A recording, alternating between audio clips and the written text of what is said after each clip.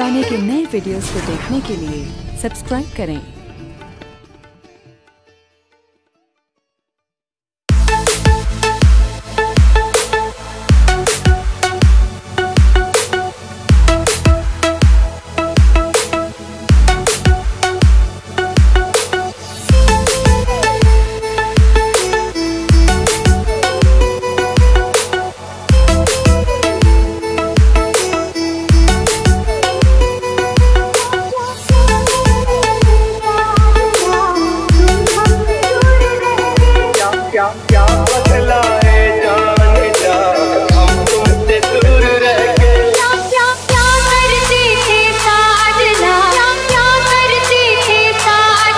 क्या क्या बदला?